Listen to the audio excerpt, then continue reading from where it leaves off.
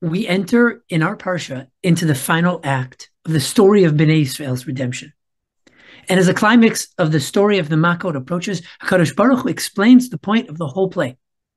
Leman shiti ototai ele bikirbo, uleman tisaper beoznei vincha uven bincha, et asher hitalalti b'mitzrayim, vet ototai asher samti bam, vidatem ki ani Hashem. The purpose here of the repeated makot and of the hardening of Paro's heart, now made possible only by God Himself, is to show my signs before Him. It is, in a word, to inspire. It is expressly designed to instill within the entire Jewish people who see and experience it with their own eyes the power and, and omnipotence of Hashem. It is quite simply so that you may know that I am the Lord. The goal here is plain both from the text itself and in the comments by our Parshanim. As Ramban puts it, this is being done כדי שידעו מצרים את גבורותיי וכדי שתספר אתה וכל ישראל לדורות הבאים כוח מעשיי. Or Chaim takes it even further, writing that the purpose here is לחזק האותות, שהם עיקר האמונה בלב ישראל, כדי שיהיה רשום Bali Shachach Lanetzach. This display, in other words, is nothing short of the foundational learning experience in which the Jewish people are taught to believe in Hashem and in his greatness. Yet there's a, a complication to this educational approach as well. Aviva Gottlieb Zornberg suggests in her Exodus on Reflections that signs are a rather flamboyant concession, theatrical demonstration of power to resort to marvels and transformations, she writes, is a descent into a more superficial mode of communication. Zornberg points to the repeated instances when the Torah describes things being done before or seen by the eyes of the people, as in Perek Dalet. Vayas ha'otot ve'enei ha'am, vaya'amet ha'am vayishmeu. Moshe did the signs before the eyes of the people, and the people believed and listened. Similarly, perhaps especially, the very last words of the Torah provide a final tribute describing Moshe as the one uniquely capable of performing signs and wonders, le'ene kol Yisrael.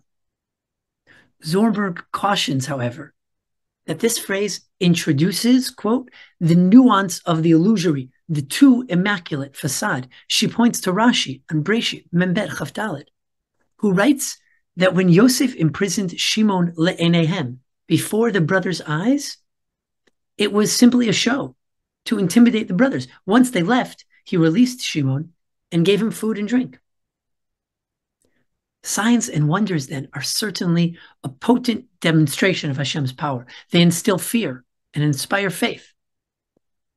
But they also conceal some of the deeper complexities of an authentic experience. They bring to mind Lahavdil, the great and powerful Oz, right? The the the perhaps Queen Gertrude's observation that the lady doth protest too much. And therein lies the educational challenge, for me at least. There's no question that power inspires, and that ed- as educators, our primary job is to inspire, to nurture, to facilitate faith. There's no doubt that the greatest teacher who ever was, Moshe Rabbeinu himself, relied on this pedagogical approach in his own leadership of Bnei Israel.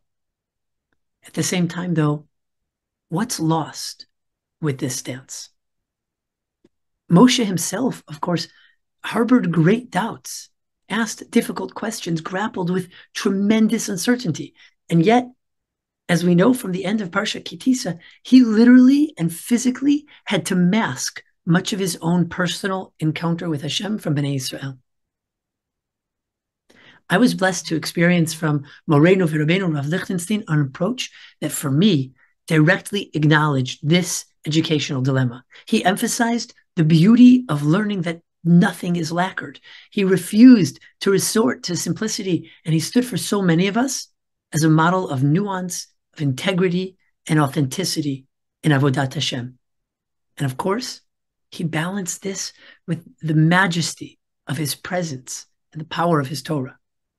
like so many others, I was deeply and profoundly inspired by his ability to avoid the performative, to pull back the curtain, to reveal authenticity while also projecting the wonder of the encounter with the Kadosh Baruch Hu. It, I can attest that this is no easy educational task. And I often wonder, as I'm sure Moshe did as well, how best to balance the signs and wonders with the nuance and complexity for those whom we are entrusted to teach and inspire. Shabbat Shalom.